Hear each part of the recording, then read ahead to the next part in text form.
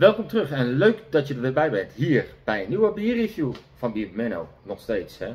Ehm, ja, biertijd. Uh, vandaag is het warm. Ik wou eigenlijk, uh, stond op de planning op dit weekend een um, donker zwaar bier te reviewen en up te. Maar hè, met dit soort weer is het toch wel lekker om een licht bier uh, te drinken. En dan ga ik deze gewoon ook meteen reviewen. Jawel, zeker.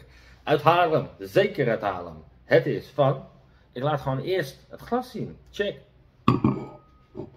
Check van het uiltje, zoals jullie kunnen zien. Een uh, eh, TQ glas. En ik dacht, weet je, dan gaan we gewoon ook het uiltje weer reviewen. Het is de Juicy Lucy. Een New England IPA van 5,5%. Zoals jullie uh, zien. Altijd wel herkenbaar de etiket van brouwerij het uiltje uit Haarlem. Ik ben denk ik, nou ik weet het wel zeker, Oudjaarsdag ben ik er nog geweest bij de, bij de bar, het Aaltje bar. Moet ik wel eerlijk bekennen, heb ik deze, heb ik ook gedronken vanuit, vanuit de tap en nu vanuit blik. Um, ja, uh, 5%, of 5,5% zelfs, sorry, 5,5% en um, ik kan er niet meer over zeggen. Ja, de ingrediënten zijn water, gerst, gerstemout, tarwemout, haver, sinaasappelschil, hop en gist. Zeker. We gaan hem gewoon inschenken, want ik ben dorstig. En uh, ik heb zin in een bier. Uiteraard heb ik zin in een bier. Nogmaals, uiltje, ja, weet je, het is wel herkenbaar van op mij op het kanaal. Ik heb er meerdere van gereviewd. Laatste keer was denk ik, voor mij twee maanden geleden, check het hier beneden op mijn kanaal. En we gaan dit bier van het uiltje Juicy Lucy inschenken uit een blikje in het glas. Ik hoop gewoon dat dit gewoon een verfrist biertje is. Uh, ja, een beetje.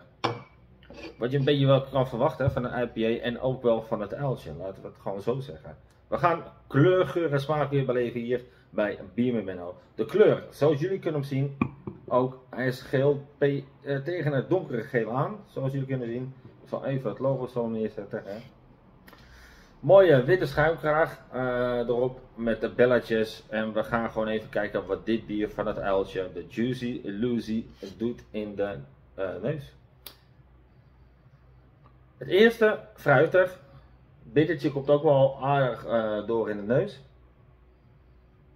En eigenlijk wat je wel kan verwachten van een, een New England IPA van het uiltje. Fruitig. Die sinaasappelschil ruik je ook wel een beetje al. Um, maar ook dat bittertje ruik je al. Dat ruik je gewoon al. Eigenlijk een typische New England IPA geur. We gaan snel door naar de slok. Ik zeg, proost.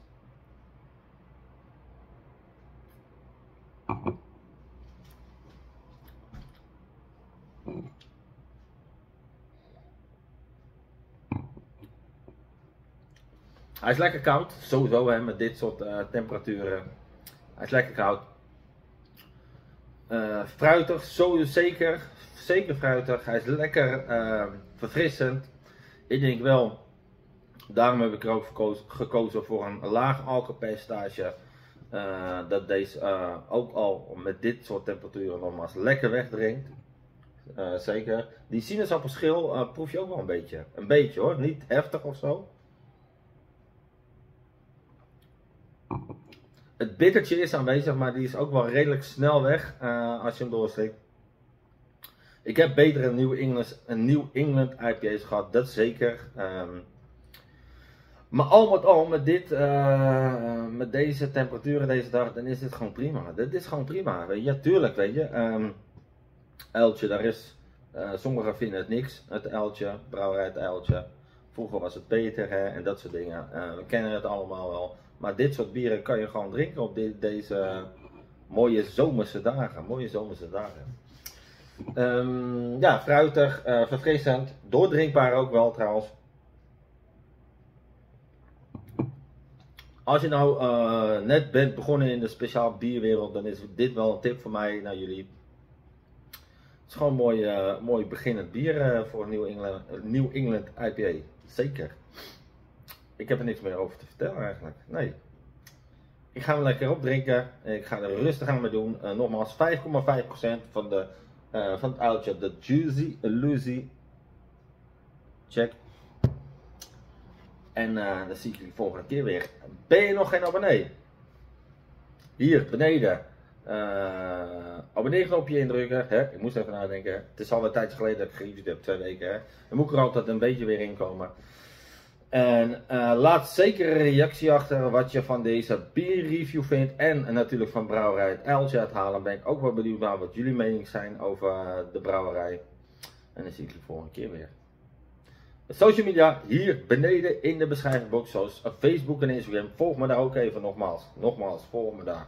Ik weet, uh, social media ben ik niet meer zo actief, maar dat komt zeker terug. Zeker terug. Ik ga ervan genieten. Ik wil jullie bedanken. Ik zeg paroos en tot de volgende keer. Maar weer.